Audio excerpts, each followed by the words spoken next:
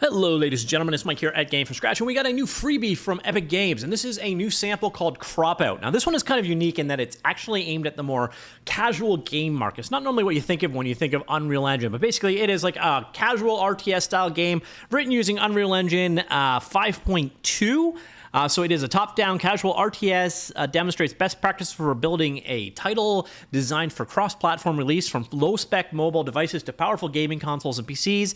Cropout is set up for you to build once and then distribute everywhere. So if you're looking for how the heck to use Unreal Engine kind of demo, this is it. So this is going to show it's entirely built using blueprints.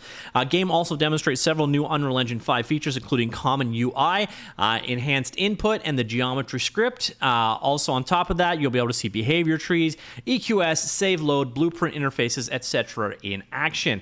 So all of this stuff is here. You get the new UI, common UI support being shown there, geometry script for creating this uh, island environment here, the enhanced input, and so on. If you want to go ahead and grab this guide, there is a video that kind of walks you through it. I'll show you the very basics in this video. On top of that, it is up on the Epic Game Store. Quite literally, just add to your cart, check out, download just like any other project, and let's go check it out in action.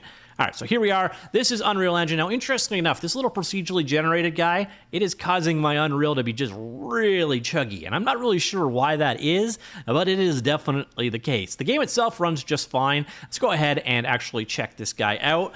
Um, the controls are a little weird to start with, so it is, uh, uh, actually here, we're in an existing game. Oops, did not mean to do that.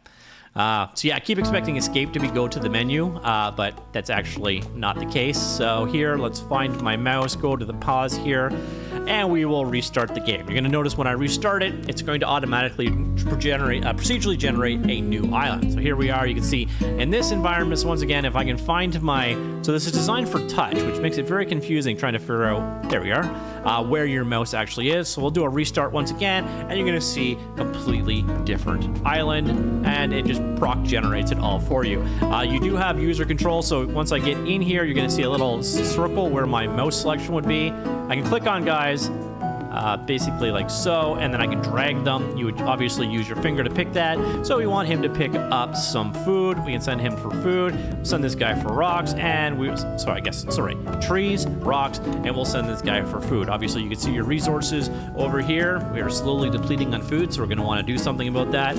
Once it comes in, so you see here, we just gathered up some wood and some rock there. We can click up build. Here's where your uh, UI layer comes in like so, and we could go ahead and create a um, field.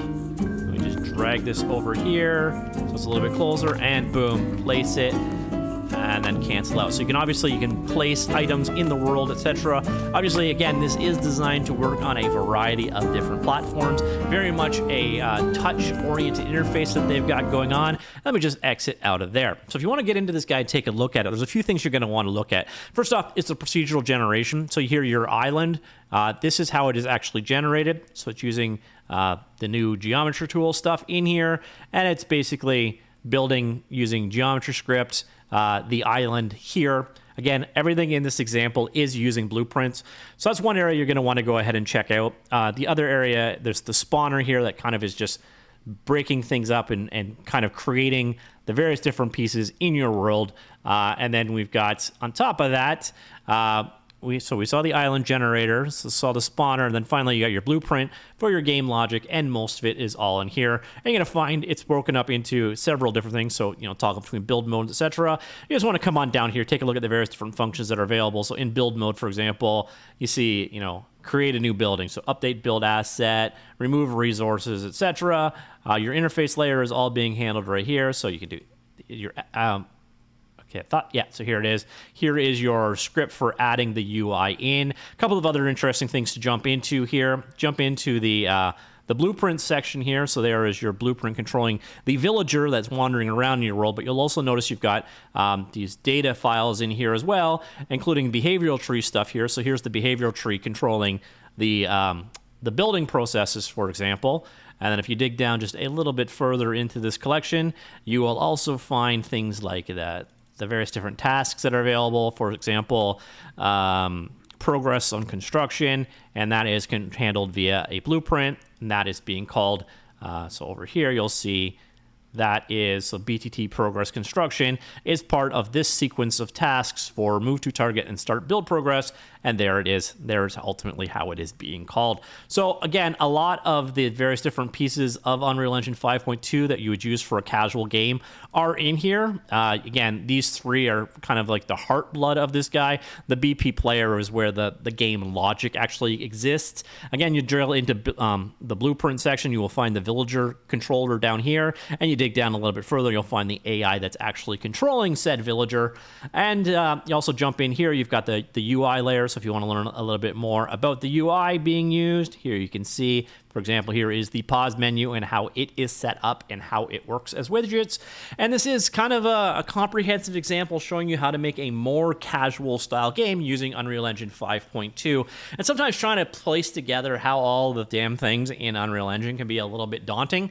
Uh, so it's nice to see examples like this. It's not like an uber complex example. There's not, you know, 100 million things to dive into. You don't have to jump into C++ or anything. Literally just jump in here, got to learn some blueprints, got to learn the various different pieces and how they work.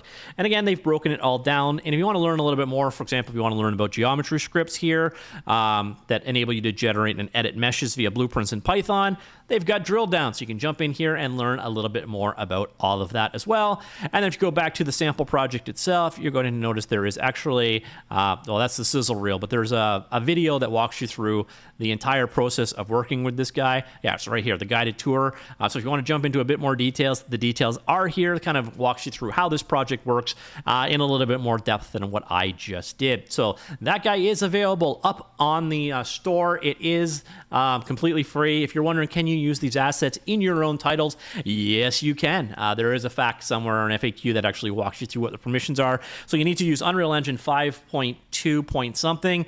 Uh, and yeah, you can use these commercially if you wish. So uh, you can use this as the basis of your own game if you so desire. And again, nice to see something a little bit more casual focused. Oh, yeah. So here you can see. So you do need to use 5.2.1 or later, so very current. Um, it can run on pretty much any package out, any platform out there. And it's one of the big things about this example.